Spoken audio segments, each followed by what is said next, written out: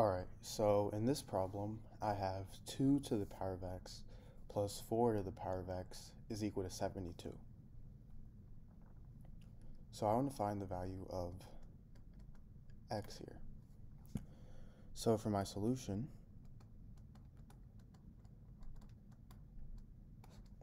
I'm going to first start by rewriting my equation over here.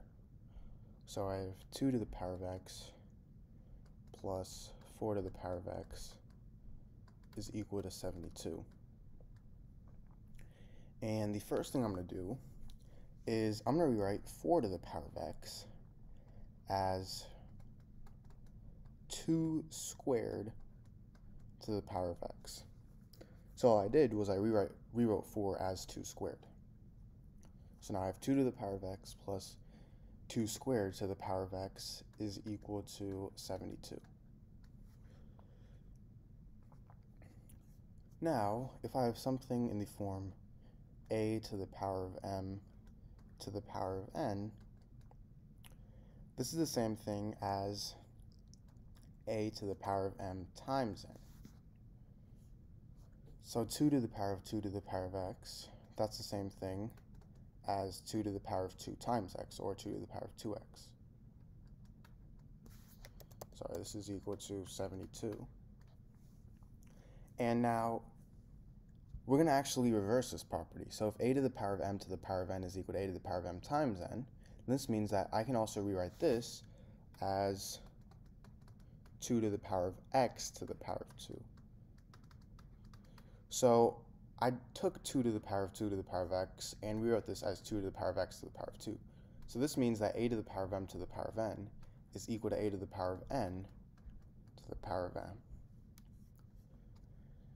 So now from here, I'm going to let 2 to the power of x equal to the variable t. So now I could substitute in t for 2 to the power of x, and I get t plus t squared is equal to 72. So that's the reason why I wrote this as 2 to the power of x, so now I have two of the same variable. And now I'm going to subtract 72 on both sides, so these two cancel out and I get t squared plus t minus 72 is equal to 0.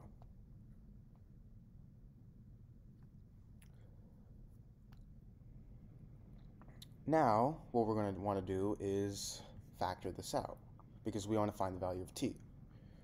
So to factor this out, I can do this in two ways. I can the first method is using the quadratic formula, which is negative b plus or minus the square root of b squared minus 4ac all over 2a.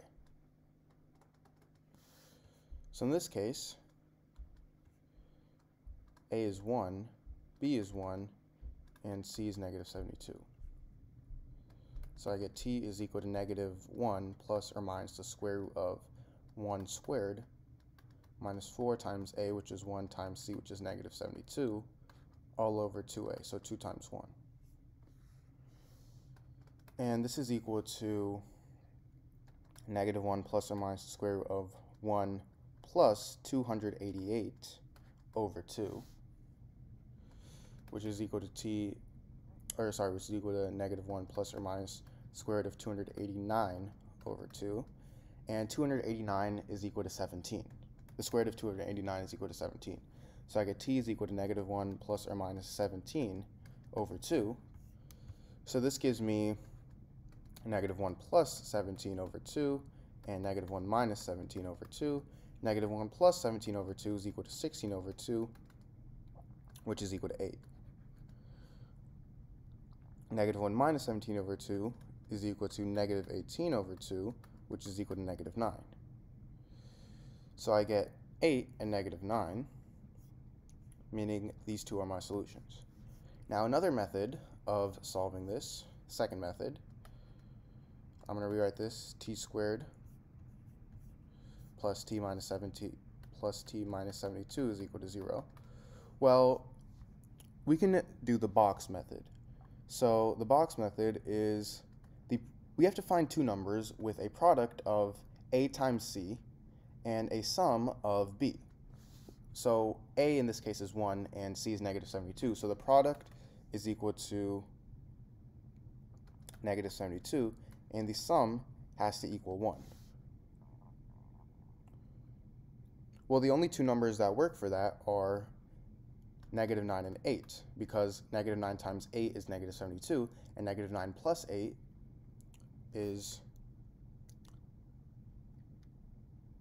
sorry, it's actually supposed to be, the sum is supposed to be negative 1. So negative 9 plus 8 is equal to negative 1. So, now that I know that 8 and negative 9 work, we can go back over here, and we have 2 to the power of x equals t.